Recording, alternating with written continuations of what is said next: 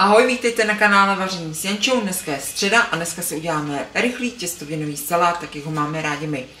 Tak a na náš těstovinový salát budeme potřebovat tři barevné těstoviny, olej na smažení, půl kila kuřecích prsou na jednu nakrájený, jednu kápi na jednu nakrájenou, máme tady jednu salátovou okurku na jednu nakrájenou a máme tady dvě lžičky kary koření a jednu lžičky sole.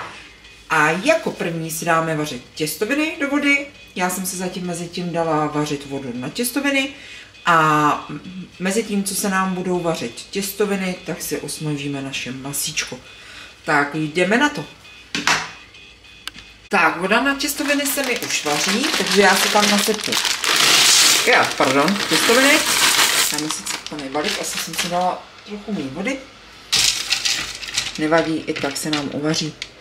Tak, dáme si vařit těstoviny a mezi tím si dáme rozpálit pánev na naše maso.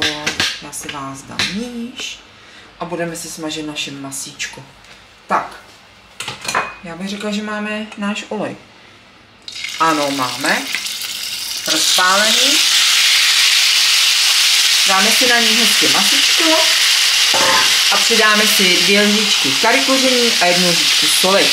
Tady dáváme víc, protože salátu je pak výborné. A abych se pravdu, abych pravdu přiznala, my tady milujeme. Tak. Masičko se hezky orestujeme, dokud ho nebudeme mít hotový. Vlastně je to opravdu rychlý. Než se vám uvaří těstoviny, tak maso máte hotový.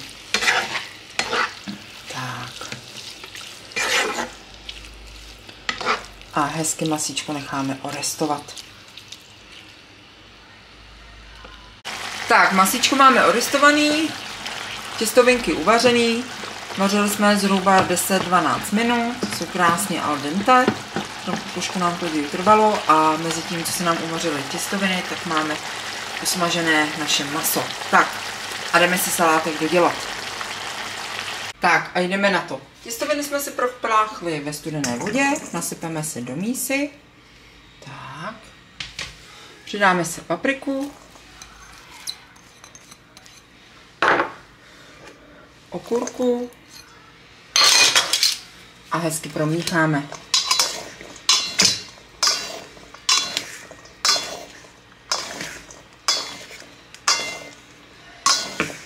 Máme tyto ingredience hezky promíchané, tak si přidáme naše masíčko.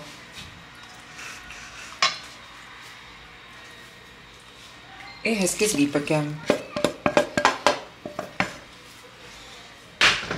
A opět krásně promícháme.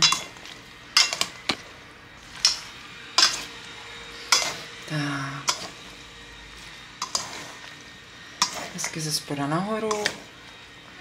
Ať se nám hezky všechno smíchá. Tak a náš těstovinový salátek máme hotový, už si je jenom naservírujeme. Tak a tady máme náš těstovinový salát hotový. Byl opravdu rychlý, než se nám uvařily těstoviny. Měli jsme kuřecí maso hotové. Zhruba i s přípravou trvalo 25 minut vše. Já mám přeju zbytek krásné středy, dobrou chuť k večeři a budu se na vás opět těšit v neděli. Mějte se hezky. Ahoj.